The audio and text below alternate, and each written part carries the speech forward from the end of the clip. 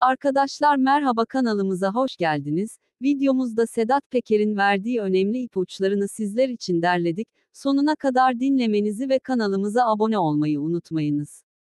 İyi seyirler dileriz. Bir size söz veriyorum. Eğer doğru çıkmazsa bugüne kadar yaptığım tüm iddialarımın hepsinden de vazgeçeceğim. Daha önceki iddialarımın doğruluğu delillerle ispat edildiği halde.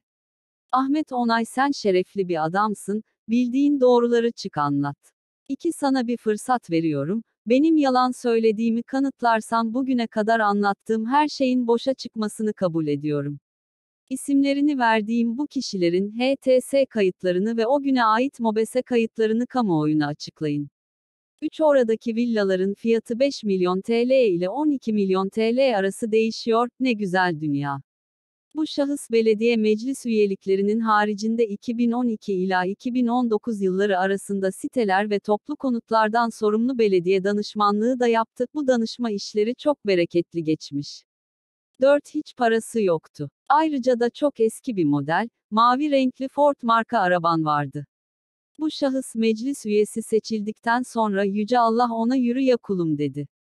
Şu anda Büyükçekmece Tepekent viyalarında oturuyor. Beş kim anlatmaya kalkarsa da onları da vururlardı.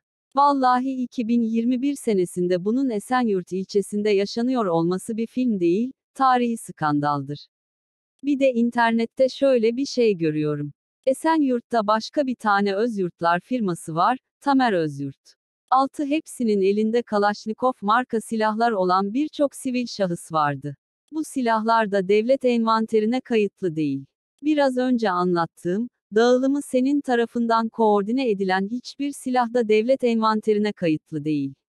7 ila 15 Temmuz'un hemen akabinde ülke genelinde demokrasi nöbetleri tutulurken Ağustos'un ilk haftasında Ekrem Gökçeker'den alınan, Özyurtların bünyesinde olan Renault Beyaz Fluence marka arabayla, Esenyurt Cumhuriyet Meydanı'nın arkasında karanlık bir sokakta.